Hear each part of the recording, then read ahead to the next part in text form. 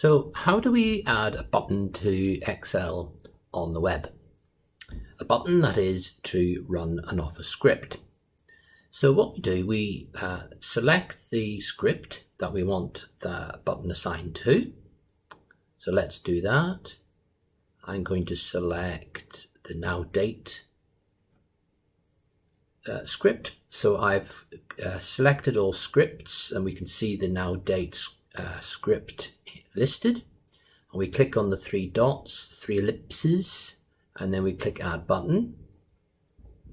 So that's uh, entered uh, into this location where the uh, mouse was selected. So we can move it. If, if we right click, we can click and drag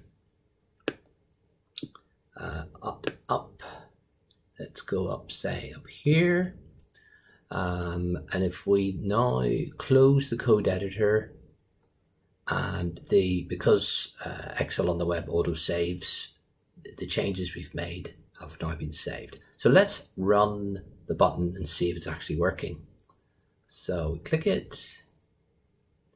We've got a little message on the left saying it's running, and then we've got a status saying it's it has run successfully. Of course, if a script is involved, it will take longer. So let's close that pane, the status pane, and let's see the results. Um, now this uh, script puts the date into, I think it's E25, so let's have a look. And there we go, E25 has appeared with the current date.